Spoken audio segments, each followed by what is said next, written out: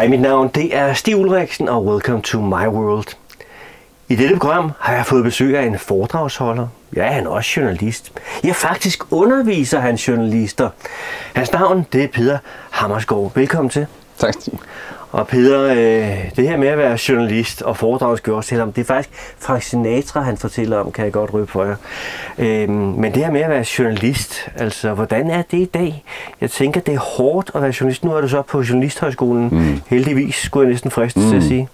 Jamen, det er jo en branche, der er, der er under pres. Altså, man kan sige, de øh, forretningsmodeller, der har været igennem 100 år, det er jo mere eller mindre forsvundet. Vi, vi har fået de her tech-giganter, altså Google og Facebook og sådan, som ligesom har suget annoncekroner ud af markedet. Ikke? Så der er nogle, nogle forretningsmodeller, der, er, der er presset, kan man sige. Men det har også åbnet op for nogle, nogle nye muligheder. Ikke? Og, og øh, på en eller anden måde kan man sige, jeg tror, jeg, jeg lavede et interview med en, med en gut, der hedder Rasmus Kleis Nielsen, der er sådan en, en, øh, en meget, meget klog mand, der sidder over på noget, der Reuters Institute of Study of Journalism på Oxford Universitet. Øhm, og han øh, sagde det her med, at, øh, at øh, journalisterne og medierne har nok været for dovne og, og været lidt for sådan tilbagelænet, og vi ved bedst, hvad folk har brug for, uden egentlig at se på, hvad folk egentlig gør, og, og, og gerne vil have, at journalisterne leverer. Så derfor så har vi nok kommet bagud i dansen, ikke? Og, og, og derfor så har vi brug for at tage fat i os selv og rent faktisk kigge på brugerne, hvad har de brug for. Så det tror jeg er noget af det, som, som, som branchen lige nu øh, er udfordret på, det er med at, at lige komme i gang med at rent faktisk se, hvor er brugerne hen, og hvordan kan vi levere noget, de har brug for og glæde af. Og som jeg nævnte før, du underviser på Journalisthøjskolen i Aarhus. Er der stadigvæk stor tilslutning til uddannelsen? Vi har lige også optagelsesprøver, det har vi altid her i, i foråret, og der var, ligesom der altid er, sådan en øh, 1000-1500 ansøgere. Altså, det er jo dejligt at have så mange at vælge imellem, som dukker op, og der er jo den der kendte videnstest, hvor man skal svare på rigtigt på 50 spørgsmål. Det er kun en lille del optagelsesprøve, men den er der stadigvæk, og øh, den har mange nok øh, prøvet øh, sådan kræfter med gennem tiden. Øh, så jo, øh, der er masser af tilslutning. Vi kan jo tage cirka 240 ind øh, om året øh, på vores uddannelse, og, og, og det får vi heldigvis jo, vi kan jo vælge at vrage. Og nu er vi heldigvis for nogle år siden indført øh, samtaler også. Og det synes jeg er en vigtig ting, at vi udover de her tests, vi laver, så møder vi faktisk alle dem, der søger ind, og får en snak med dem, så vi også kan mærke, er de rent faktisk motiveret for det. Øh, og det, det kan man sige, dengang jeg selv søgte ind, der var det der ikke. Jeg fandt på, at jeg ville være journalist. Øh, Ja, det var faktisk sjovt. Jeg var, øh, jeg var øh, rejseleder nede i Ægypten for et firma, der hedder Atlantis Rejser, og øh, der øh, tog jeg så turister med rundt, blandt andet til Cairo og til Mosesbjerget og, og rundt omkring. Og der var der en gang, der havde vi en, en gut nede, som nogle af vores, eller dine seere måske kender, en mand, der hed Lasse Butz, der var, han var journalist i Danmarks Radio, og han var også øh, folketingspolitiker for Socialdemokraterne. Men øh, han var dernede som, som turist, og ham, øh, og ham talte meget med, og øh, de første par dage, der fortalte jeg en masse historier, og så godt så nu kunne, og sådan, og så kunne jeg godt mærke på, at han vidste en masse om det her, og så fortalte han så, at han havde været journalist dernede, og, øh, og, ja. og det var meget inspirerende at være sammen med ham, de der, jeg tror ikke, det var 14 dage, han var der jo, men, øh, men det var sådan, da, da han tog hjem, der tænkte jeg, okay, når jeg engang ikke skal være her mere, så, øh, så skal jeg hjem og være journalist. Og så kort tid efter, så kom der så 9-11, øh, altså 11. september 2001, som jo gjorde, at øh, folk turde ikke tage til Ægypten på ferie længere. Så derfor lukkede destinationen ned, og jeg skulle hjem, og så kunne jeg så komme i gang med den del af mit liv, der så blev til øh, journalistikken, som har været i gang siden 2001. Og det er jo fantastisk. Jeg behøver ikke stille spørgsmålene. Du svarer faktisk. men, men en ting, som øh, du, For den kom lidt ud af det her med de unge i dag, de har sådan en optagelsessamtale, hvor man ligesom finder ud af det, og det havde man altså ikke dengang du øh, søgte ind.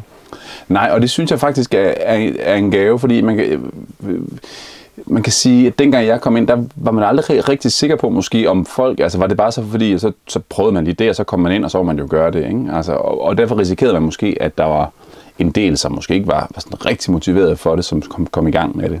Og det er i hvert fald noget af det, som jeg synes er, er blevet bedre ved den måde, vi tager folk op på nu, at vi lige får en snak med dem. Så kommer folk ind, og så, så skal de så møde tre af, altså mig og mine kolleger, så de unge mennesker møder alle sammen tre forskellige kolleger, der taler med dem, ikke? og så har man så det sammen med hele den skriftlige optagelsesprøve til at vurdere ud fra, hvem skal vi tage ind. Så det er en, en ret grundig proces, og det synes jeg også er vigtigt, for det er jo et vigtigt erhverv, man kommer ud i. Ikke? Altså, journalistikken er jo øh, sammen med med, med de andre vigtige søjler, vi har, altså den dømmende og den lovgivende og den øh, udøvende magt, så har vi jo journalisterne som den der fjerde statsmagt. Ikke? Og det, det synes vi, vi i hvert fald. Ikke? Ja, det håber, det håber vi. vi. Ja. ja. Men tilbage til Journalisthøjskolen og de unge mennesker. Øh, hvad er det så typisk, man går efter i dag? For det må også være anderledes i forhold til, at du blev optaget, hvor vi jo stadigvæk, dengang vi har det stadigvæk, men der havde vi jo nogle øh, aviser, der kom ud på papir og alt det her. Og det var den vigtigste del, og det er det jo ikke længere.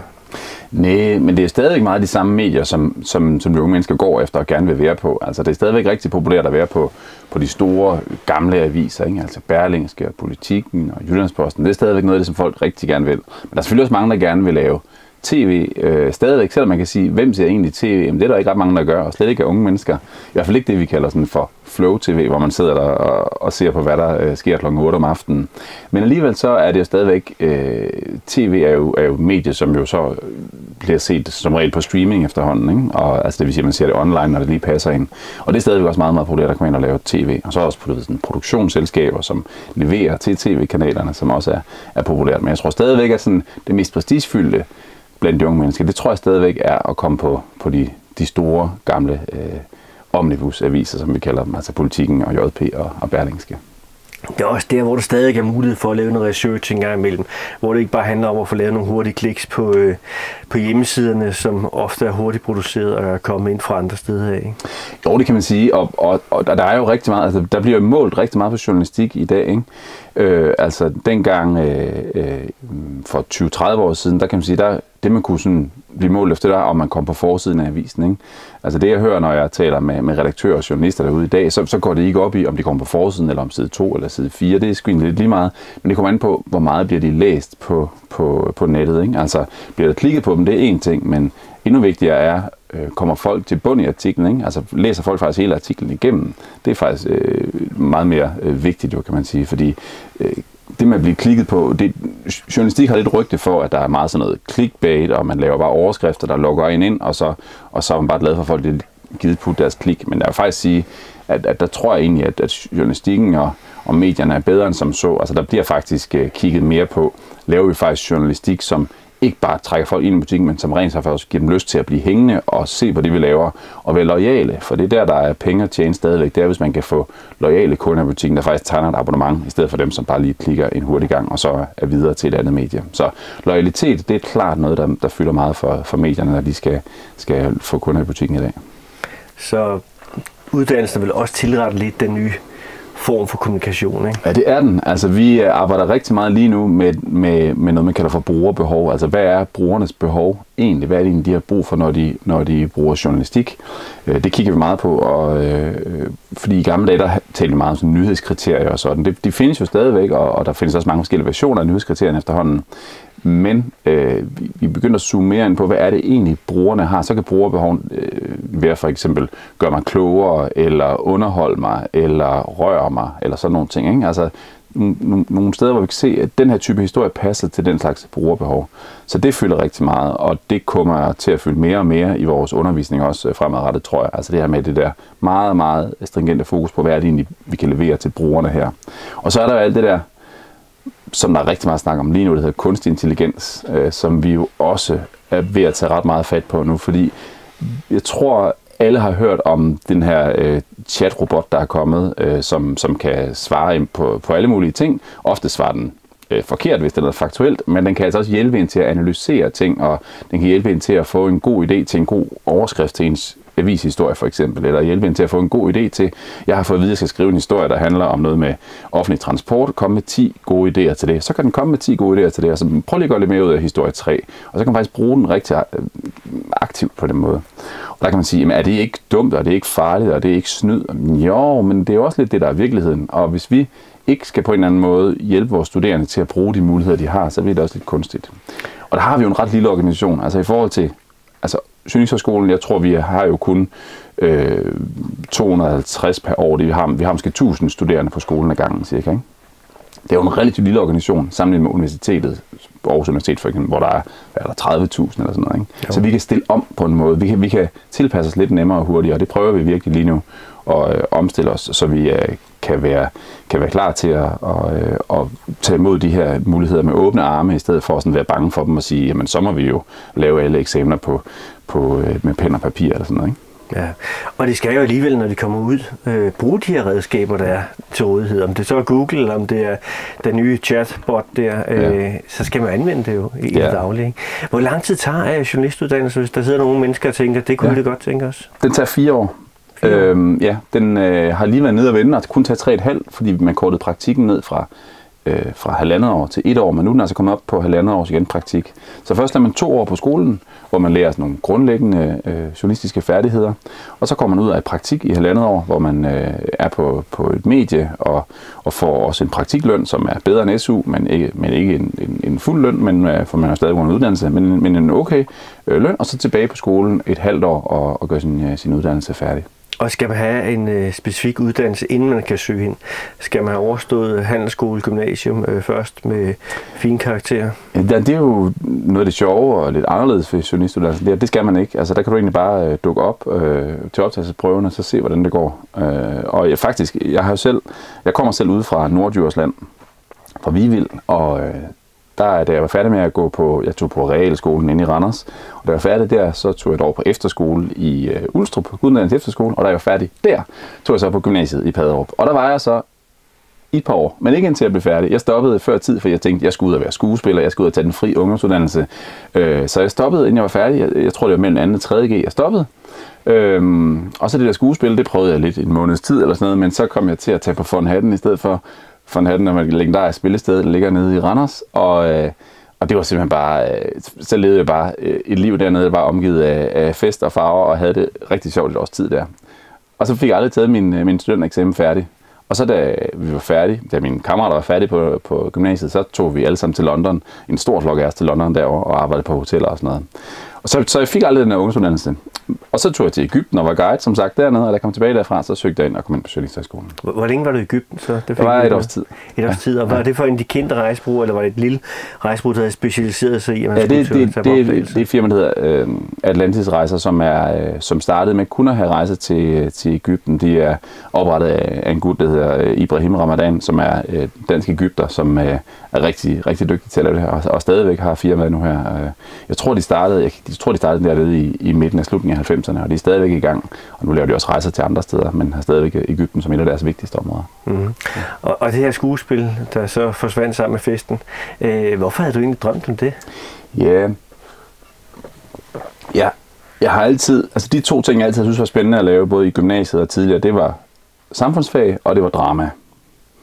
Øh, og drama, altså, som jo er altså sådan noget, der, der handler om skuespil, det synes jeg bare, jeg synes, det var sjovt. Jeg har altid været med i, i skoleforestillinger og øh, været glad for at optræde på scener øh, og lavet musical. Jeg har været med i Vilhelmsborg Festspil. Øh, jeg har været med i musicals her i, i Randers, da vi havde noget, der hed Musical Kompaniet tilbage i omkring og, og hvad var det, i slutningen af 90'erne, vi havde det. Så jeg har altid synes, det var sjovt og tænkt, at det, selvfølgelig skal jeg det, for folk skal da have mere af mig.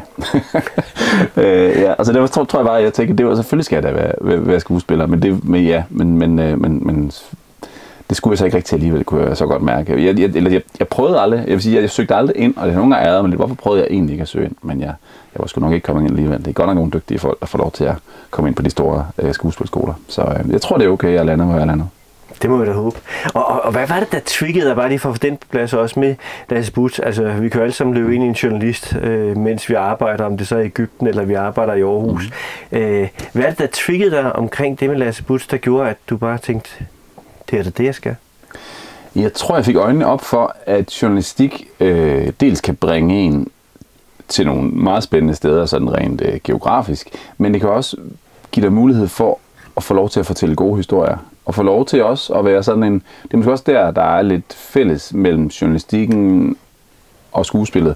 Altså, man kan også ligesom få lov til at, til at, til at være lidt på, ikke? Man kan få lov til at være, ligesom lige nu, ikke? Dejligt, og få lov til at være i fokus. Altså, det der med at lige få lov til at, til at give noget til folk, ikke? Og, øh, og sådan henvende sig til folk på en måde, det, det tror jeg måske er en af koblingerne der. Og det var også det, altså, Øh, den der kombination af at sætte sig ind i ting, altså som sagt, samfundsfag, drama, det er også lidt der er i journalistik, ikke? Samfundsfag, altså lyder sådan, forstå samfundet, forstå, hvad der sker omkring dig, og, og bringe det videre til, til nogle folk øh, gennem en eller anden form for performance, som så kan være enten at skrive en artikel, eller at lave et, øh, et indslag, eller sådan noget, ikke? Så, øh, og, og det synes jeg bare, at den måde, han kunne fortælle om det liv, han har haft med journalistikken på, det var øh, meget, meget inspirerende. Og hvad var din drøm så? Altså, da du sådan melder dig til, til journalistskolen, havde du så en drøm om, at du skulle være en ny Lasse Butz, der kunne rejse til Ægypten og øh, mm. rapportere hjem fra til, eller dernede fra hjem til Danmark øh, via DR eller TV2?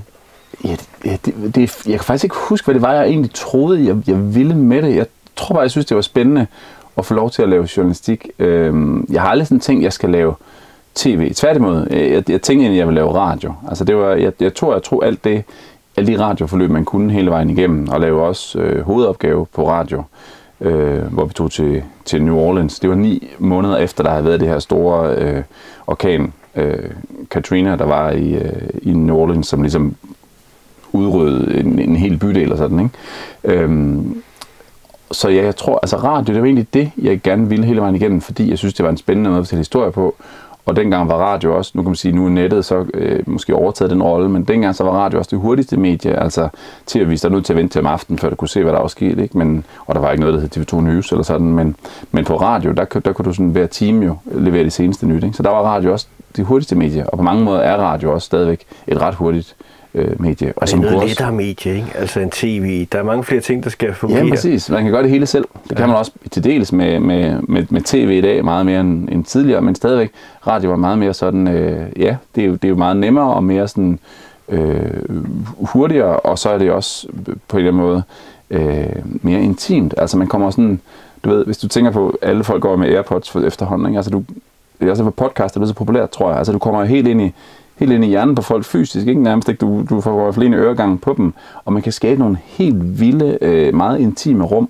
Og fordi det ikke er så produktionstungt, så kan du også gøre det meget niche. Altså det er svært at lave tv meget, meget niche, ikke? for der skal vil nogen til at betale festen. Men med radio kan du godt, og podcast især, kan du godt lave noget sådan super niche. Du kan godt lave noget, hvor du kun har en lytterskare på 200 mennesker, og alligevel gider du faktisk godt bruge øh, en time hver uge på at sidde og tale om, om noget, du går op i. Så på den måde synes jeg, at, at radio, der har vokset sig videre til at være podcast, det er et øh, ekstremt spændende medie, som jeg stadigvæk holder rigtig meget af.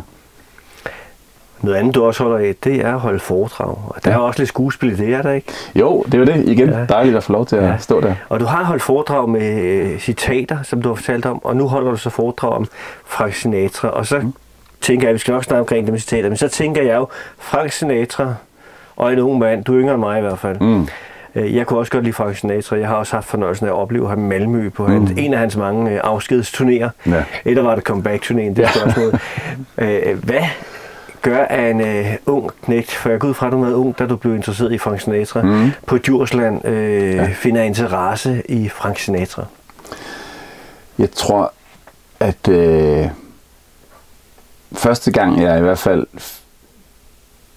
jeg tror, det handlede om, at jeg skulle egentlig, vi, som sagt, vi igen til tilbage til noget drama og noget skuespil, der skulle være på, på gymnasiet i Paderup, skulle vi holde sådan en forestilling, sådan en slags cabaret, og så skulle der være en konferencier, og det var så mig, og jeg skulle ligesom underholde med noget, og så, og så øh, tænkte jeg bare, at Sinatra, jeg havde ikke hørt det ret meget på det tidspunkt, men jeg havde tænkt, at der var et eller andet med ham, han var spændende. Jeg kendte selvfølgelig New York, New York og sådan de der. Der var, der var noget spændende i den der store stemme, og den der øh, meget tjekket. Øh, det passede godt til at være sådan en konferencier i suit, og så skulle synge hans sang, ikke? Øhm, så det gjorde jeg faktisk der. Der, øh, der sang jeg øh, et, et par af hans sange, blandt andet New York, New York, som jeg åbnede med der. Ikke? Og, og det tror jeg var sådan, det var der jeg sådan tænkte, wow, det er noget der, ikke? Og jeg lyttede det ekstremt meget, og jeg forsøgte at sætte mig ind i, at han har skrevet sådan en bog, der handler om, hvordan man, altså sangteknik, det skrev han, øh, og, og den øh, kiggede jeg meget på, og, så sådan, og, og prøvede at sådan, tage nogle af hans teknikker til sig, ikke? fordi jeg har sunget i kirkekor i St. Mortens Kirke i Randers, der gælder det om at sætte et stort rum, og wow, det skal lyde dejligt og tilbage i halsen, og, og selvfølgelig kunne synge på vokalerne, ikke? men så når man skal synge sådan noget, øh, som Sinatra gør, crooner, så skal du pludselig have det, du ved, sådan frem i masken, og det skal sådan summe herhen, og det er en helt, en helt modsatte teknik faktisk, og du må gerne øh, trække et S ud, eller, eller et N, eller sådan noget. Ikke? Så pludselig blev det noget helt andet. Der er en spændende teknik i det også, synes jeg. Ikke? Og så begyndte jeg så også at læse lidt om hans historie, og det var sådan, wow, altså, han er jo øh, helt vild. Altså, han har levet igennem nogle meget spændende tider for det første, men så har han også bare, du ved, været venner med JFK, ikke? Og, øh, og fire ægteskaber med nogle meget forskellige og meget spændende kvinder, og han har... Øh, Jamen altså, øh, øh, også, også, der er sjov, han, han er født på min, det kan jeg huske, det tænkte over det første gang jeg hørte det, han er født på min, på min farfars 6 års fødselsdag i 1915, ikke, den 12. december. Nå, men det kan da ikke være tilfældigt, vel? Eller sådan. Ja, så der var sådan, han har bare, han har bare en øh, ekstremt spændende liv, han har haft.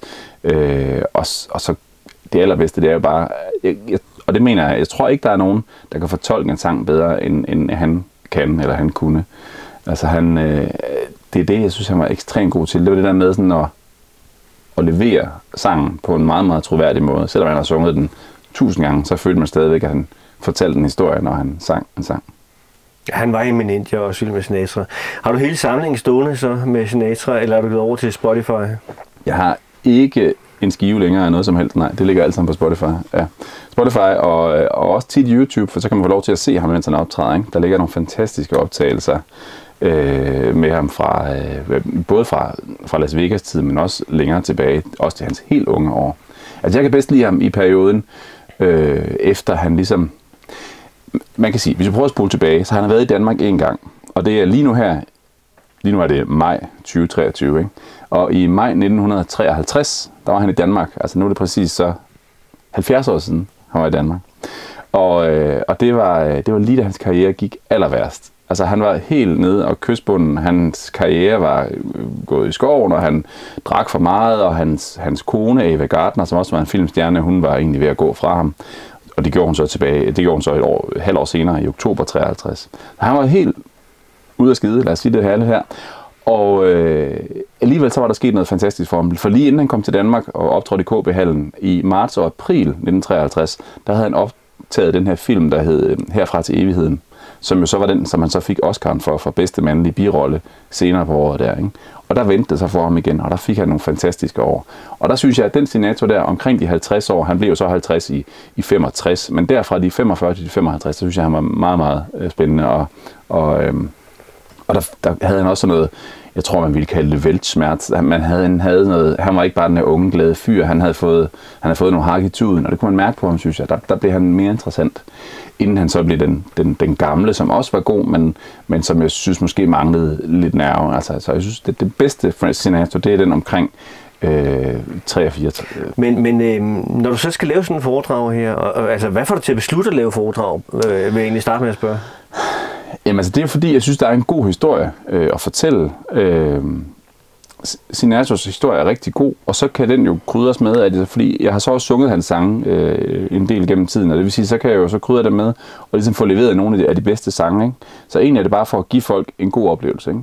Gode historier krydret med god musik, og til at gøre dem, gøre dem klogere på en, øh, på en spændende mand. Det synes jeg egentlig er ret fedt. Og så igen, så kan jeg også få lov til at, at, at, at komme ud og, og være lidt på, og det synes jeg også er sjovt. Så det er et musikalsk foredrag, kan vi jo godt sige. Ja, Og, og, og du lever så, efter at du fortæller det, så kommer der sådan en sang, og så fremdeles. Ja, er det så sådan, at sangen den kan forbindes? Er det kronologisk, du bygger historien op, eller? Jeg bygger den op over, øh, over hans, øh, hans afskedskoncert, øh, en af hans afskedskoncerter. En af hvor- hans mange afskedskoncerter. Ja, hvor han, havde, hvor han havde alle sine største hits, kan man sige, undtagen New York, New York, fordi det var inden han tog den. Den tog han først til sig i 1978, og den afskedskoncert tror jeg er fra 1974 eller sådan noget. Så, så den har jeg ikke med. Men der er sådan en, der har han selv plukket de sange ud, der var vigtigst i hans karriere. Så det er dem, jeg ligesom tager udgangspunkt i. Og så, og så lige med New York, New York også. Så man er nødt til at have med. Ja. Og så ellers, jo, altså kronologisk er det jo også skruet sammen på den måde. Ikke? Altså øh, All or Nothing at All, som var det hans den første hits øh, tilbage fra hans helt unge tid. Ikke? Og så helt op til, øh, til øh, blandt andet øh, It Was a Very Good Year og, øh, og selvfølgelig New York, New York til sidst. Og, og de foredrag, er det noget, som øh, folk bare ringer til dig omkring? Nu må vi ikke nævne telefonnummer og alle mulige andre ting. Så. Men er det, er det henvendt til ældre sagen, seniorklubber og den slags? For jeg tænker lidt, at man skal jo være lidt op i årene øh, for at kunne huske Sinatra. Ja, jamen det er jo præcis sådan noget FOF, AOF, øh, ældresagen, øh, ældrehøjskoler og den slags, øh, øh, som, som er det oplagte publikum. Samme publikum, som jeg også har til mit, til mit foredrag, der handler om, om, om berømte citater, kan man sige. Ikke? Altså man kan godt sige, at du er journalist, for du tager spørgsmål ud af munden på mig jo, at jeg netop skulle til at sige, jamen så har du jo godt, du har været ude og holde det andet, for så har du jo kunne bruge de samme steder. Præcis. Ja. Ja, Og, og hvad var det, det foredrag, eller foredrag handlede om, og hvor lang tid har du lavet det foredrag? Ja, og det holder jeg stadigvæk. Det har jeg holdt i, i tre år nu, og det er, det er sådan en foredrag, der handler om, om berømte citater. Fordi jeg tror, rigtig mange af os kan egentlig godt lide et godt citat, for det kan være rigtig mange ting. Det kan være sjovt, det kan være inspirerende, det kan sætte nogle tanker i gang. Øh, vi kender dem alle sammen fra gajolæskerne for eksempel, ikke? hvor der står et eller andet citat på. Øh, de fylder faktisk øh, de fylder 90 år i år gajol, men da de fyldte 80 år for, for 10 år siden, der lavede en undersøgelse af, af danskernes brug af citater, og det viser, at danskerne, vi kan rigtig godt lide at bruge dem, og vi bruger dem rigtig meget. Vi bruger berømte citater fra sange og fra politikere og fra bøger. Vi bruger rigtig mange forskellige citater, og vi bruger dem, fordi at de enten kan de bare være sjove, men de kan også netop du ved, sætte noget i gang, og de kan også give mig mere sådan troværdighed, hvis jeg nu kan lige sige, så var det engang Churchill, han sagde sådan og sådan. Ikke? Så, så derfor tager jeg udgangspunkt i, hvad er det egentlig, citaterne kan? Men så taler jeg også en del om, at der er jo virkelig mange fejl i citater. Altså rigtig mange citater er jo ikke det, man lige troede, det var. De er jo enten sagt af en helt anden, eller så har de ikke sagt i den sammenhæng, man troede, de var. Og så er der bare rigtig mange gode citater, der sådan har en spændende historie omkring sig, altså som jo egentlig, øh, øh, som egentlig fortjener at blive fortalt. For tit, hvis man læser citater, så sidder det sådan en citatsamling, en, en, en bog med en masse citater i, men, men der får man ikke konteksten med. Så den folder jeg lidt ud og så målrette efter, hvad publikum det er. Ikke? Hvis det er ældre mennesker, der, altså, så, så rammer noget, som jeg ved, de synes er spændende, og nogle gange ude på gymnasiet, så tager jeg fat i noget andet, og sådan gør det til mere sådan undervisningsting, hvor vi får noget historie fyldt på, ikke? om den kolde krig eller et eller andet. Og sådan, ja. Er, er du sådan en omvandrende leksikon? Churchill, han sagde jo, apropos ham, han sagde jo, at intet kræver så meget som en improviseret tale. Intet kræver så meget forberedelse som en improviseret tale. Ja. Øh, og er det det, du gør også? Øh, jeg har virkelig øh, læst øh, rigtig mange øh, øh, citatsamlinger øh, og taler, og, øh, og så har jeg bare øh, øh, jeg, altså, forsøgt virkelig at, at tråle internettet for, for hvad jeg synes, der er, der er spændende historier om, omkring de her citater. Og specielt de falske ja. citater på, øh, det, det forbløffes jeg over alt, hvad Einstein ikke har sagt, ja. som så ligger som noget, han har sagt på, øh, på, på nettet, eller John Lennon for den sags skyld, eller Elvis, øh, ja. for at tage nogle eksempler. Ikke? Ja. Ja, det er jo også Frank Sinatra. Ja, det er jo lidt det, ikke? Altså, de har jo, altså, de, man kan kalde den citatmagneter, ikke? og det er jo ikke fordi, det er magneter, man putter på køleskab med citat på, men det er fordi, det er nogle af de mennesker, som suger citater til sig, som de aldrig har sagt. Altså netop Churchill og Mandela og Mother Teresa og Martin Luther King og nogle af de der øh, helt store. Der er så mange citater, som de aldrig har sagt, men som folk ligesom tilskriver dem. Og det, ja. men, men det er jo også... Hvad skyldes det? Altså, kommer du ind på det i, for, i dit foredrag også? Jamen, det skyldes i hvert fald, at de, Altså det, det skyldes flere ting. Nogle gange så er det bare nogen, der har misforstået det, og så, og så kommer de til at tilskrive det dem, ikke? fordi det lyder som noget, han kunne have sagt. Ikke? Altså der er et ret øh, berømt øh, Churchill-citat, som han, som han aldrig har sagt, men, øh, men som lyder sådan. Øh, Diplomacy is the art of telling people to go to hell in such a way they ask for direction. Ikke? Altså, diplomati er, er, er en, en måde, eller øh, at defineret ved at, være, ved, at, ved at du øh, beder folk om at gå til helvede på en måde, hvor de beder om, beder om hvordan at finde vej derhen. Ikke? Øh, og det har han aldrig sagt, men det er alligevel noget, der lyder som noget, han godt kunne have sagt. Og, øh, og heldigvis så findes der omkring mange af de her berømtheder, altså Mandela, Churchill osv., der findes der heldigvis så mange penge, der er blevet akkumuleret i, i, igennem deres karriere og deres tid, at der faktisk er forskere, der jo, der jo er ansat kun til at arbejde med deres legacy, altså kigge på, hvad florerer der derude af citater? Er der nogen falske? Nogen dem skal vi have skrevet på en liste her over nogen, der florerer, som ikke er ham. Og er der nogen, som, som, som dukker op, som er nye, som er rigtige, skal vi skrive dem på en liste. Ikke? Der er nogle lister med, med rigtige citater, forkerte citater og tvivlsomme citater. Sådan, ikke? Heldigvis, så er der nogen, der holder øje med det. Og det hører man om i dit foredrag. Yes. Det er altid. Vi begynder også nærmere vejs inden, men inden vi gør det, ja, så kunne jeg godt lige øh, hurtigt vende din barndom, øh, øh, fordi øh, som knægt var du en af dem, der var bedst til dansk stil i skolen, og var du bedst på fodboldholdet, eller hvad fik du fritiden til at gå med dengang, og hvordan gik det i skolen? Jeg var i hvert fald ikke bedst på fodboldholdet. Men jeg, jeg var en relativt god til den stil, men Øh, men, men problemet med, med skolen, tror jeg for mig, var også, at det var næsten for let, så jeg, var, jeg fik ikke gjort ret meget ved det i hvert fald. Så det tror jeg, at samtlige lærere, jeg har haft igennem min skoletid, vi kunne skrive under på, at jeg var ikke verdens bedste til at lave lektier. Øh, men, men jeg var også en, øh, relativt god til at de boglige faser, derfor gik det sådan, øh, ret nemt for mig. Og så, øh, og så var det egentlig også allerede der, jeg fik lagt den der øh, grundsten til journalistikken, for jeg lavede til i 6. klasse, lavede jeg øh, jeg tror vi kaldte det hed Sprøjten. Det var vores øh, skoleblad, som jeg fik, øh, fik, øh, fik lavet og fik, øh, fik lov til at, at bruge nogle af skolens ressourcer på at få printet øh, til oplag til hele skolen og sådan. Og det var, øh, ja, så det var egentlig min, min første journalistik. Jeg kan huske, at jeg fik lov til at få min fars gamle attaché-mappe, og så gik jeg og følte mig lidt vigtig med den og, øh, og var redaktør på skolebladet. Det var, øh, ja. Så det var egentlig der, øh, det startede det med journalistikken. Så du kunne godt have blevet det uden Lasse Butz for dukket op i bygden? Ja, måske kunne det godt være sket alligevel, men, men det er svært at sige. Altså, jeg, jeg prøver altid at sige, når, når jeg taler med vores unge studerende, altså, I kan lægge en masse planer, og det synes jeg, I skal gøre, men jeg vil næsten love jer, når I så står om 30-40 år og kigger tilbage, så er det ikke den vej, I lagde, som I endte med at gå, men det bliver sikkert en god vej alligevel. Og lad det være ordene. Tusind tak, fordi du kom forbi og fortalte lidt. Tak for det, mig. Og til jer vil jeg gerne sige tusind tak, fordi I valgte at kigge med. Jeg håber at se jer alle sammen tilbage igen i næste program.